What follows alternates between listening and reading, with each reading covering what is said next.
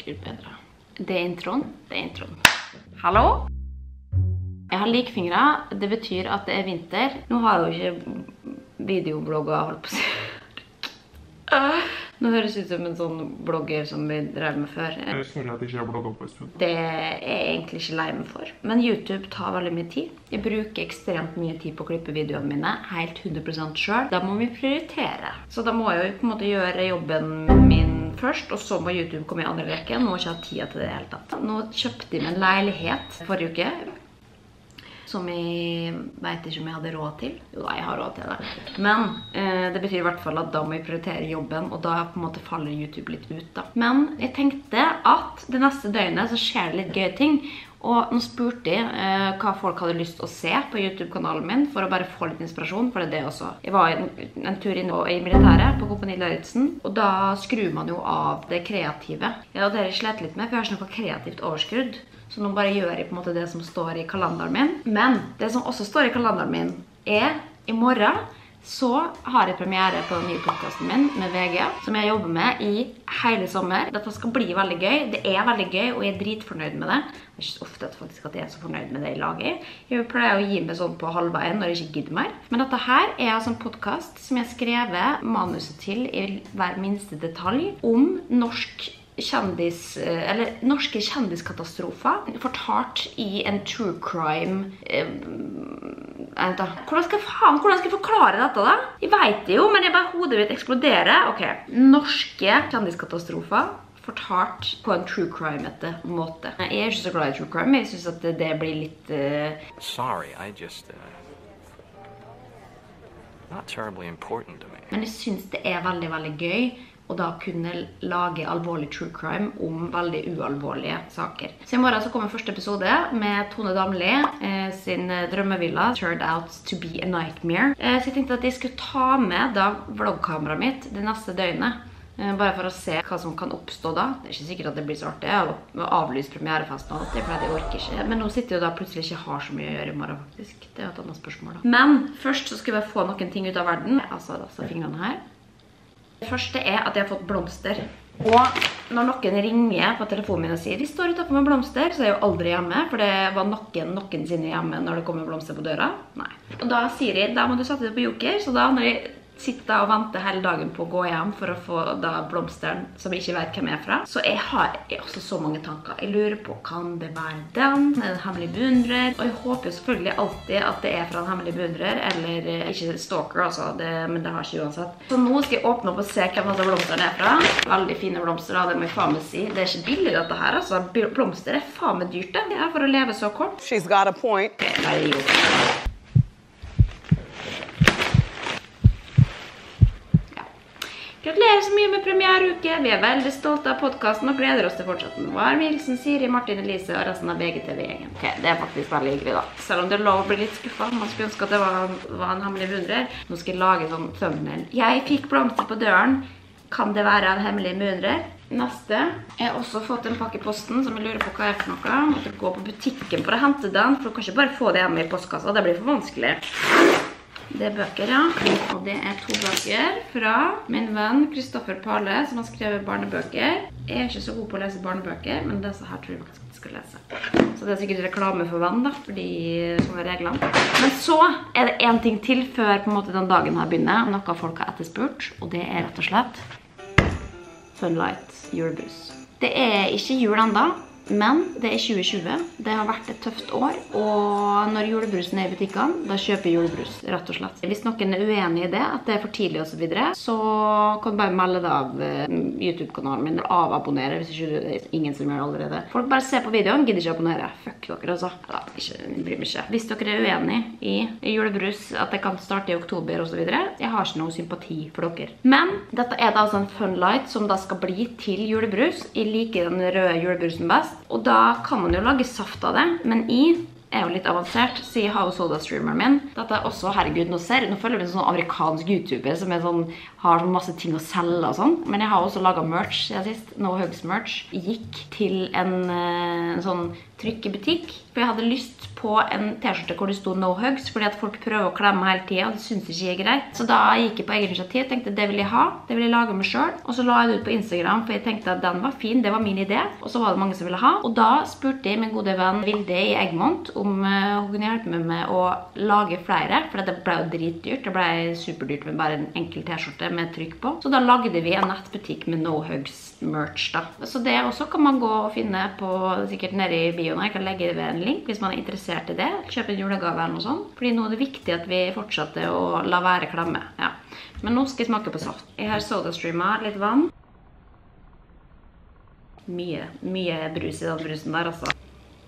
Mm. De lærde vil jo strides hva som er best av rød og, og brun. Jeg respekterer begge retninger i livet. Jeg har alltid vært på rød. Anerkjenner ikke kritikk for det. Ok? Ok. That is amazing. Wow. Like, oh my God. Det, det er litt interessant, for nå har jeg bruset den opp. Jeg bruser den opp veldig mye, men likevel så smaker det litt dølt. Og det er jo fordi dette er jo laget for å være saft, liksom. Og jeg kjenner også at det er en saftsmak der, at det er liksom typ, jeg får litt bringebærsaft-assosiasjoner. Og det er jo bedre enn rød saft, og jeg kjenner, at den smaker definitivt rød julebrus. The flavor, oh my God, it's, it's so real. Like, Men det har en ettersmak av saft.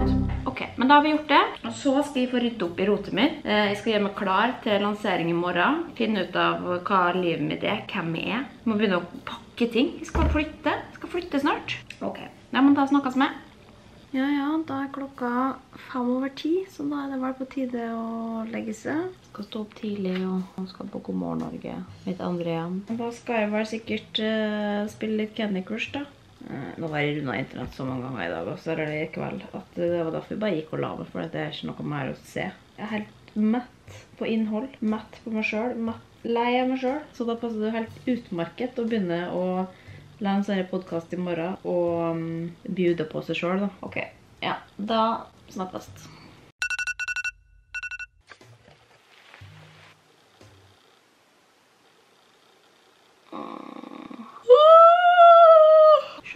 Jeg sover med å sånn sovebind, for det er jo mørkt ute når jeg våkner uansett.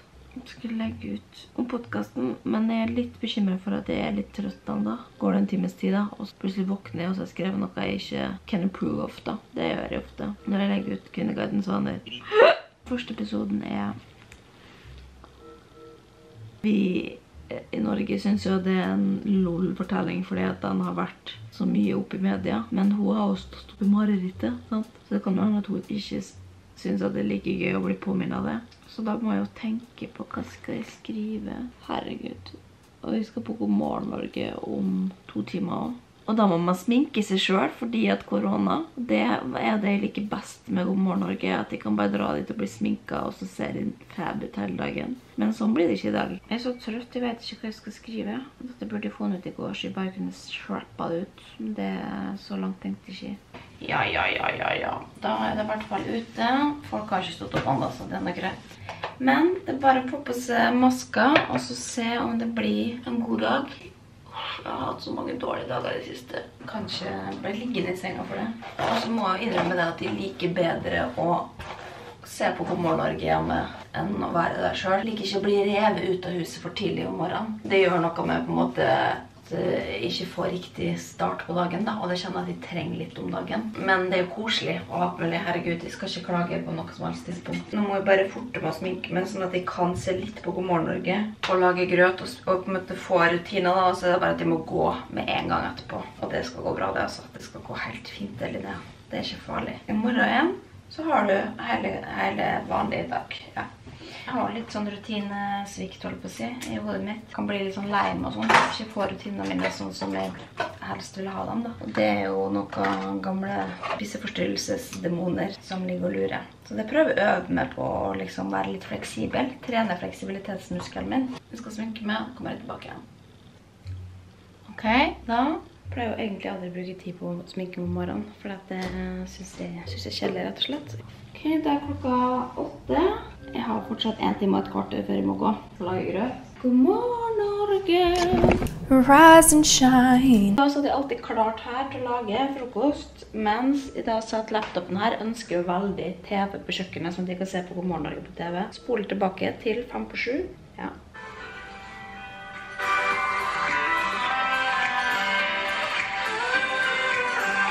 Har mest lyst på i hele verden? Eh, Mest lyst på hele verden, spesielt deigen. Løksuppe, muslibrød, gulrotkake. Det må være meg. Nei, det var Islet.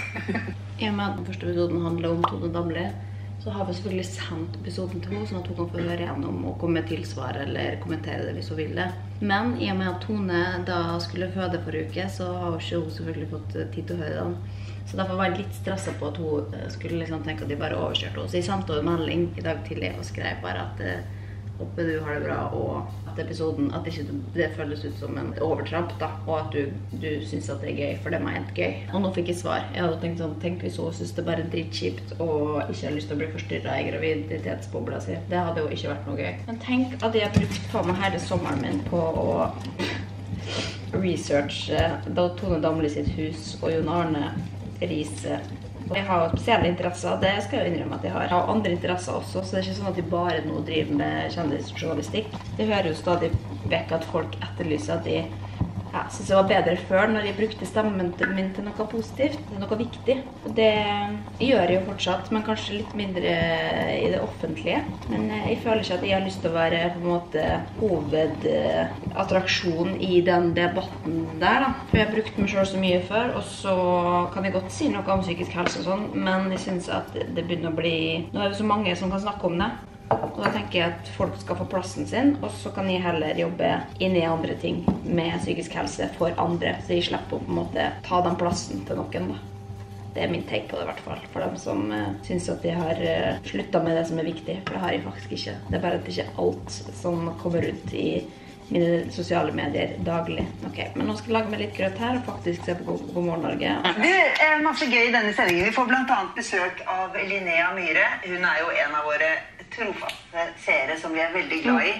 Det syns jeg er koselig. da. Når de snakker om meg, da føler jeg at de, at de er der allerede. Men nå har jeg laga meg litt grøt. Og så eh, Da pleier jeg bare å sette meg her i stolen min, godstolen min, med varmeovn, pledd og litt varmeflaske. Og så gjør jeg mail mens på en måte God morgen Norge står på da i en annen fane. Så jeg hører lyden av God morgen Norge. Vi skulle jo selvfølgelig hatt eh, en TV som kunne bare rulles rundt i lokalet, sånn at de også hadde bilde da. Så det er ikke ideelt, det er ikke det, men nå skal jeg jo flytte snart, så kanskje det finnes eh, et nytt liv for meg med TV på kjøkkenet der. Ja. Tusen hjertelig. Fin dag. Ha det. Yes, elsker når jeg slipper å betale taxien selv. Men nå er jeg her. Det skal være et utestudio. Jeg vet ikke hvor mange har vært er, altså. Men det er i hvert fall Jeg reflekterer ikke så mye over det eller tenker at jeg gruer meg. Men det jeg gruer meg til etterpå, så skal jeg løpe langt. Jeg har lova en kompis at jeg skal prøve meg på en mil. Og det har jeg ikke gjort på årevis. Kanskje på seks år så har jeg ikke løpt en mil. Så det går jeg og tenker på, da. Det er mange som løper en mil eh, flere ganger i uka, da. Men det gjør ikke jeg. Ok, Det er klokka halv ti, så skal jeg vel stå da og småtalke i et godt kvarter. Peter sitter inni der. Gjorde dere? Når du, når du hermer etter dialekten, og så liksom ikke er helt på tur liksom med den dialekten. Ja, men veldig dårlig dialekt. Sorry, Veldig altså, dårlig. men jeg er kred for at du holder på det. Har du ett forsøk igjen? Ja. Mm. Nei, da tør jeg ikke. Da tar du det andre kortet. OK. Nå har jeg akkurat løpt, eh, eller jogga en ti mil. En mil. Jeg skulle egentlig hjem å dusje først. Men det fikk jeg ikke tida til. Så nå skal jeg altså på hudbehandling med Myra. Fordi det har Myra fiksa, da. Driver egentlig ikke med noe sånn sponsegreier. Men Myra sa det må du bli med på. Jeg måtte ta taxi hit fordi at de var så sent ute. Så nå er jo bare et kaos her. Nå, virker, nå lever jeg et, et bloggerliv. altså Jeg pleier jo egentlig ikke å leve på denne måten. Så det jeg sier nå istedenfor å si sånn Ja, jeg har bare løpt, og så har jeg ikke dusja. Så skal jeg bare si at jeg har gått en tur. For jeg blir ikke sånn, blir ikke sånn ekkel svett, syns jeg, da. Og så er det litt gøy, fordi at jeg har fått Jeg har latt liksom i bilen, nei, mobilen min ligge i bilen mens jeg har vært og løpt. Og da er det jo gøy å komme tilbake og se at det er så mange som liker podkasten. Hello. Du She got them legs! Jo, men se. Ja, det ser faen ikke verre ut. Men jeg rakk ikke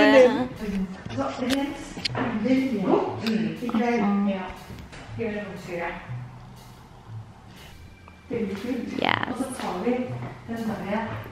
Litt sånn morsomt når du holder i hånda, så du kan få litt levende grana. Ja, ok, da har denne dagen her gått. Øh, Jeg har fått gjort egentlig ganske mye, men jeg har liksom Jeg har ikke fått vært så på. Jeg har hatt egentlig en ganske positiv dag. Det er lanseringsdag, men det er bare Jeg har vært litt opptatt. Jeg har vært i så mange møter. Jeg har hatt øh, besøk, og da blir det til at man ikke sitter og liksom får fulgt med hele tida. Så da føles det jo litt sånn uti der. Og det er helt greit. Så slapper man å bli helt sånn selvopptatt, eller overopptatt av seg sjøl. Jeg vil egentlig oppsummere dagen som meget eh, positiv. Det har vært gode tilbakemeldinger. Jeg er fornøyd. Eneste jeg er litt lei meg for, er at det var noen som ble litt lei seg. Men det er også noe man må være forberedt på. At man vet aldri helt hvordan folk reagerer på ting. Så det er jo ikke noe gøy, da. Men eh, jeg skal prøve å løse opp i det, og jeg vil jo ikke at noen skal være sur på meg. Det er aldri en god følelse. Men da er det bare å satse ned og jobbe videre med neste uke, på en måte. Og så samtidig sitter jeg også og leter litt etter eh, inspirasjon. eh, Innredning og interiør og sånn. Jeg har jo kjøpt en helt eh, ny leilighet som tror at de skal ikke ta med meg noe herfra. Og det, mm, da må man jo begynne helt på nytt, på en måte. Men det har jeg satt av penger til, at jeg skal begynne helt på nytt. Og da skal jeg også finne min egen stil. Det synes jeg er vanskelig, for jeg har ikke noe stil. Jeg er litt sånn hist og pist. Så nå har jeg prøvd å finne én stil som jeg har lyst til å gå for. Men jeg må bare si, fy faen så mye stygt folk har i 2020 også. Den der 2020-stilen, hvor alt er firkantet og alt ser helt likt ut. Og så der, eh, hva heter det, sånn der strå som du har ute i åkeren, vet du. Altså der, som er, står i disse store krukkene. Det er ikke noe fint. Jeg kan ikke ha sånn stil. Så nå har jeg googlet, og jeg har sett på Printress. Herregud, hva er det som skjer? Jeg dusja altså i går og var så fin da jeg la meg. Våkna, så ser det fett og jævlig ut. Det er ikke greit. Uansett, long story short, shirt. long story short. Jeg husker ikke hva jeg snakket om en gang. Herregud.